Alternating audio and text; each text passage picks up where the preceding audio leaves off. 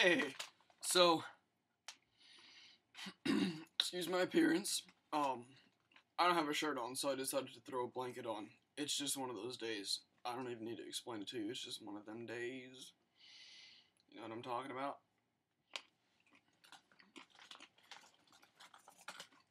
Okay, so the topic is, um, I could travel in time, would I go back and backwards or forwards? Or would I, uh, and what would I do if I were there? So definitely wouldn't go forward. No, no, not having that. I don't need to see what I'm going to turn out to be. I'll definitely go backwards. And I don't really care about what was going on in the past. What I would do is I would go back in time. And, um,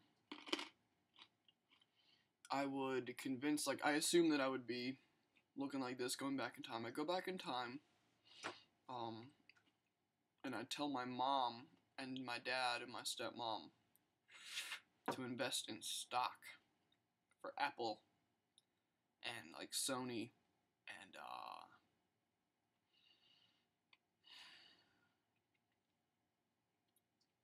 post it and stuff like that so that they get roll roll roll roll roll roll roll roll roll roll roll roll roll rich and then I wouldn't have to do anything. I could just sit around and just like spend money all day on wheat thins and planters nuts and shirts because I don't have any. No, I have shirts. I just don't have one on right now. and I was gonna do a vlog. That's my fish tank right there, right there. Uh, I was gonna do a vlog without a shirt, but like that's too chat roulette I was on chat roulette today with my friends because I was at a birthday party. It was pretty fun. We were talking about the, we were talking to this guy from Romania. It's pretty cool. Um, so, yeah, I'd go back in time and tell, and tell my parents to invest in stock so that I could be loaded for life from the beginning. I suppose um, it would be interesting to go back in time to when dinosaurs existed. That'd be pretty fun. Just so I could see see some velociraptors. I don't need to like encounter them because they spit acid and shit, but It'd be nice to observe them. Purely observation, purely observationistic. Um.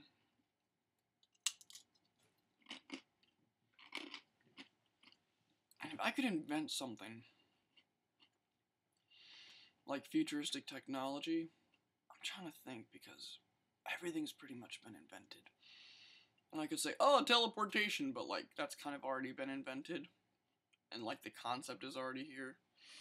Me. Um.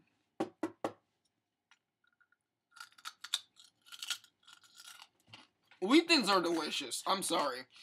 I would probably have to invent like a button that just like produces a wheat thin out of thin air. Like a wheat thin like not like not like oh look a little two inch by two inch wheat thin. I'm talking about like a fucking wheat thin like bam, like this big, like wheat thins the size of your motherfucking house blankets and shit, like two foot by two foot wheat thins. So yeah, I'd have to invent a little um button that produces wheat thins. Um, it would look something like this. Not affiliated with Walmart, but not from Walmart, by the way. You press it and bing, little wheat thin. Except a big wheat thin. Yep.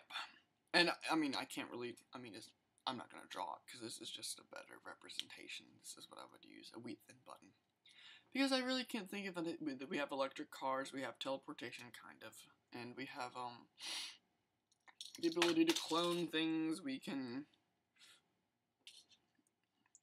harness the sun's energy. We can harness the wind's energy pretty much got our shit on lock, except for the wheat thin button. We have yet to invent that. I got to go to the store to buy these bitches. So, to recap, invest in stock. Uh, go back in time and tell my parents to invest in stock. Go visit the dinosaurs. Okay. And make a wheat thin button so that I can have giant ass wheat thins on demand 24 7. Have a good day. Okay.